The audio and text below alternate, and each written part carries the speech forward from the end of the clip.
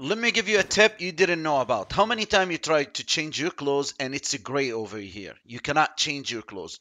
And the reason for that is says cannot switch in combat. What does that mean? This means there is enemy near you. You know, you cannot switch because there is enemy near you. So I send my friend as far as he can when it's gonna turn on like he will go about 200 300 meters so this is a good tip look watch now watch now i can switch it you see now this is easy. So if you want to camp and you want to know if there is enemy near you this is a good tip guys. So come on mention someone. Let your and yes i am in Vikendi yes yes i know i know